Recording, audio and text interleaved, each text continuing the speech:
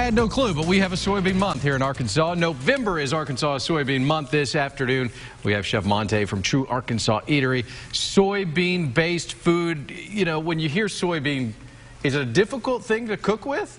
Uh, definitely not. Um, it's more soybeans and things that you um, wouldn't realize. Uh, vegetable oil is made from soybeans. Um, um, edamame, of course, is going to be just like a soybean. Sure.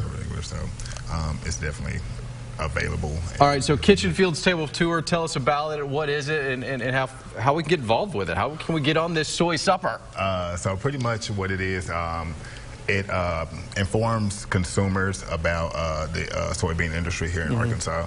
Um, is it? I mean, obviously, soybean is a huge product here mm -hmm. in Arkansas. We're we're, we're going to dig into it. We're going to use it. We're going to do what we can mm -hmm. with the soybean. Uh, and and you guys are finding new ways to cook with it, right? Most definitely. Uh, today we brought our Power 92 salad. It's a power salad um, that we've used. Um, of course, edamame.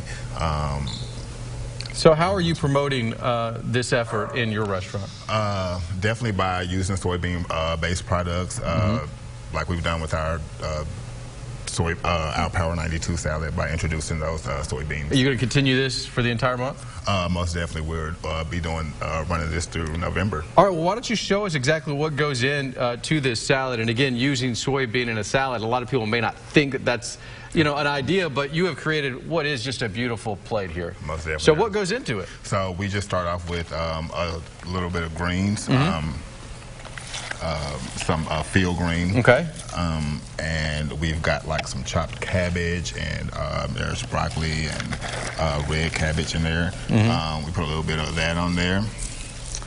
Now, if this is your Power 92 salad, is this uh, is this Trey Day's favorite? I don't know Trey Day's been down yet, but yeah, I'm sure it will be when he. Uh, Every day, all day, right? Yeah. um, we get a little um, Gotta have some avocado some there, right? Avocado on there. Um, a little bit of fresh cut apples. Okay. Granny Smith apples.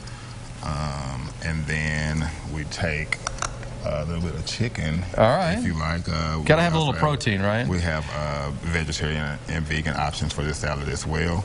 Um, and um, we just top it off with a little bit of um, our edamame. What is the best salad dressing that's going to be able to go on so this? So my favorite is going to be our house-made um, apple cider vinaigrette. Okay. Um, you brought a ranch. Is that a ranch as well? That's a, a house-made ranch. All right. So you can go either way. Uh, either there way, is more information from the Arkansas Soybean Promotion Board. Its website it is themiraclebean.com. Monte, thank you so much, man. Looks Thanks fantastic. I'm sure Mallory's about to jump over and dig in, saying how hungry she is. We're going to take a break. We'll be right back after this.